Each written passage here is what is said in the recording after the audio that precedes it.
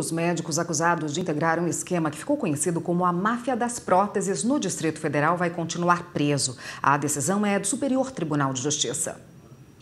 A presidente do STJ, ministra Laurita Vaz, negou o pedido de habeas corpus da defesa do médico Johnny Wesley Gonçalves Martins, investigado pela Polícia Civil. O médico foi preso preventivamente em setembro de 2016. Ele é acusado de liderar o esquema que ficou conhecido como a máfia das próteses, responsável por superfaturar produtos, trocar próteses de forma fraudulenta e até mesmo usar materiais com prazo de validade vencido em hospitais públicos e particulares do Distrito Distrito Federal. No pedido de liberdade, a defesa alegou que houve constrangimento ilegal do acusado e que o processo deveria ser remetido à Justiça Federal, por se tratar de delitos cometidos contra o Sistema Único de Saúde.